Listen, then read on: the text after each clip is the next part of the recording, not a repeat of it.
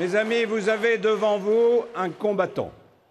C'est pour entendre de tels propos que 3000 sympathisants du candidat des Républicains ont fait le déplacement à Nîmes. Objectif, le soutenir en pleine tourmente judiciaire à travers soupçons de détournement de fonds publics et d'emplois fictifs. Et qu'on le prouve, mais qu'on ne condamne pas d'avance.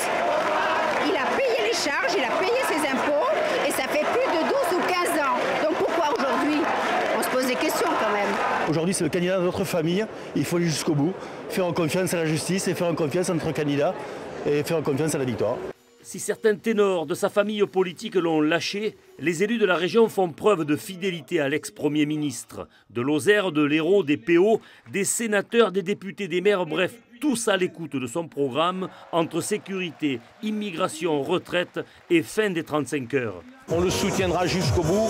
Et puis vous savez, je l'ai dit, dans une famille comme dans, un, comme dans l'amitié, c'est souvent dans les moments difficiles qu'il faut garder cette solidarité. Quand on est sûr de notre candidat et sûr de ses convictions, sûr du programme, on ne peut être que derrière. Autre présence remarquée par son discours enflammé, véritable déclaration d'amour politique, celle du numéro 1 gardois de l'UDI alors que la veille de ce meeting, le Parti centriste avait suspendu son soutien à François Fillon. Moi, j'ai envie qu'il y ait un changement dans cette France profonde. J'ai travaillé avec lui personnellement pendant presque deux ans quand j'étais président de groupe, tous les lundis soirs et tous les mardis matins. Deux heures le lundi soir à Matillon, deux heures le mardi matin à Élysée, chaque semaine. C'est un homme qui a été très ouvert.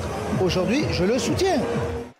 À 50 jours du premier tour de la présidentielle, François Fillon a réussi à faire le plein d'énergie en terre gardoise Sera-ce suffisant pour aller jusqu'au bout? Réponse le 23 avril.